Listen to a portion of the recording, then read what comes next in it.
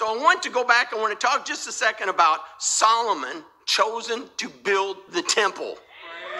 God had chose Solomon to build that temple. He told David Solomon's going to build that temple. Amen. And he says that he told him, he says, I've got to have a resting place.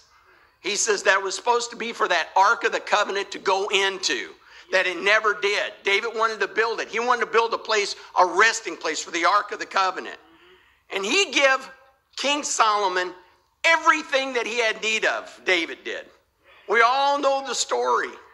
He gave him everything that he had need of. That's what's so wonderful. That he told him when he called him in and he told him, he says, Now, come here, Solomon. He says, Here's the gold. Now, here's the silver. Now, here's the stone. Here's the wood. Here's everything you have to need of. He says, Here's everything that you have to need of to build this temple. He's left nothing undone. And then he said that he gave him what was called a pattern. You know what a pattern is? It's the blueprint. Amen.